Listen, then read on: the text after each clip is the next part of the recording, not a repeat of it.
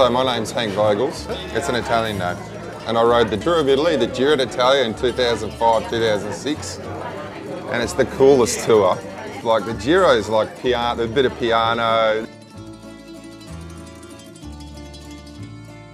And as we saw the other day, like that kid that took the selfie we could tell there's no security at all. It's pretty accessible to the fans. Like the coffee's better, the food's better, podium chicks are way better. I have the Ercole special pizza. The pizza. I rode um, in 2005, 2006 with Lotto Davitamon, and uh, it was an incredible tour.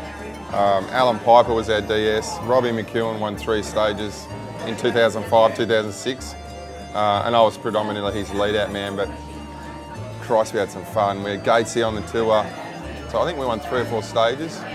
So it was a, probably the most successful tour in Lotto's history, actually.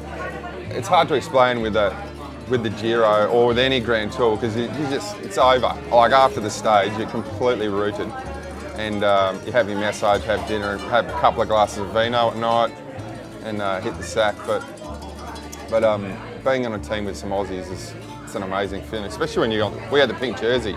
We had the pink jersey for nearly a week, and this was against like Petacchi, like when he was in his absolute prime. Like all the other sprinters were working out how they can beat how they can beat him.